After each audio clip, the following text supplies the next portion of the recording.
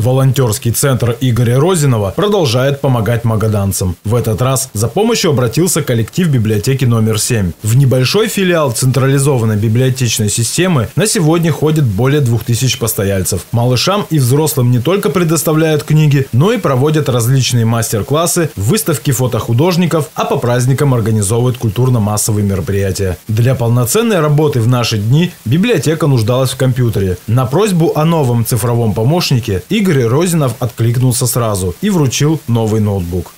Конечно, мы постарались сразу откликнуться на эту просьбу, э, потому что библиотеке нужна новая техника для привлечения новых читателей.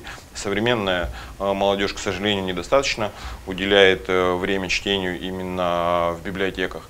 Поэтому новая техника позволит привлечь и дополнительных читателей, по словам руководства библиотеки, новый ноутбук – очень важное пополнение, которое привлечет новых постояльцев и поможет в проведении культурных мероприятий.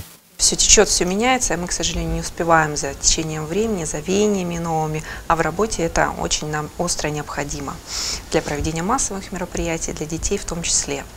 Игорь Николаевич откликнулся, а, приобрел нам ноутбук, ну и надеемся, что в дальнейшем наше сотрудничество плодотворным будет и оно продолжится.